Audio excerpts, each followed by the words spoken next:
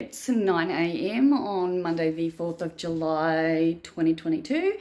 Um, I guess that makes it Happy Independence Day for all of you in America. Um, it's Rachel's birthday as well. I've sent multiple messages, but I haven't heard back yet, but that's cool. Um, anyway, I, as we know, tried to feed Sebastian the other day and it didn't work because it looked like he was shitting. His eyes glazed over and he was like pink under the belly and all the signs that say he was going to shit. Um, however, they have gone and he hasn't shed and he looks, well, up until about two minutes ago, I thought he looked fine.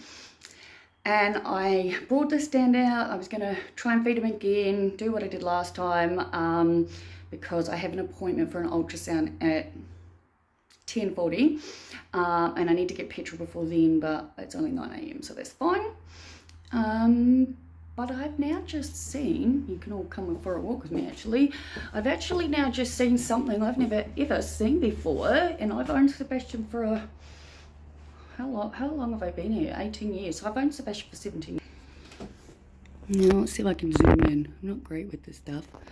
See his face? See that big lump underneath there? They're not supposed to be there.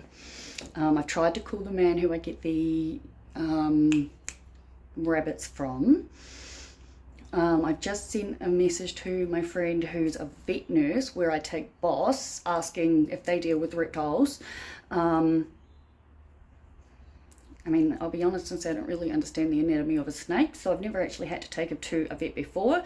There was one time when I'd had him for about five years that he stopped eating for a number of months, and before I ended up taking him to the vet, I took him to the pet store, and they recommended that I boil his food in chicken noodle soup, which, by the way, if you're a snake owner and your snake is meant to be feeding, um, and he's not. Chicken noodle soup apparently works like a charm. Uh, definitely did for Sebastian. He loved it. Um, thankfully the bunny is perfectly fine, like it's like any normal meat. You take it out of the freezer, defrost it and leave it in the fridge for however long. Um, being a vegan and having a full fucking rabbit in my fridge is a bit like, but not the end of the world.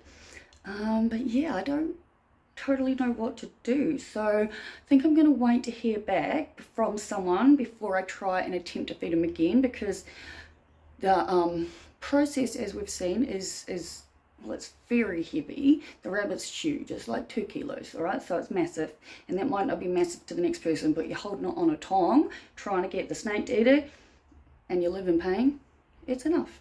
So, yeah, maybe I'll finally do my vacuuming. That's what I really, really need to do. My house is clean, and now that I'm like going with the flow, getting out of my head and into my body, um, and just everything's on my side, I'm going to keep saying that. Feel free to use it yourself. It's a wonderful little life mantra. Um, but yeah, life is good. I'm feeling great, and I guess that's me for now. Happy Monday.